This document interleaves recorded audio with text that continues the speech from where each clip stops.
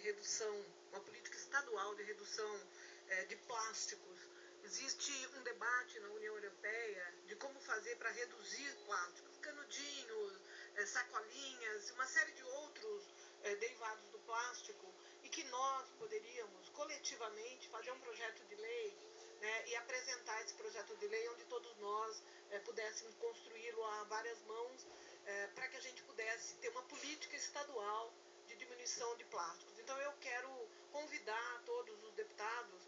Assessoria vai procurar depois os assessores daqueles deputados que quiserem participar disso, para que a gente pudesse é, começar a cuidar do meio ambiente de forma mais eficaz. Então, se nós tivermos um projeto de lei construído com vários, várias mãos, todos nós é, ajudando a escrever esse projeto de lei, eu acho que a gente pode melhorar muitas questões do meio ambiente. Então, eu quero é, disponibilizar essa nossa é, disposição de fazer coletivamente esse projeto de lei. Pode tirar